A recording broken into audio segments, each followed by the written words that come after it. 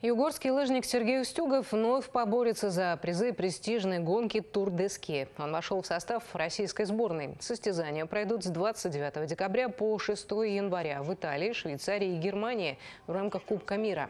Напомню, Тур де Ски состоит из нескольких этапов масс-старта, гонки преследования и гонки с раздельным стартом.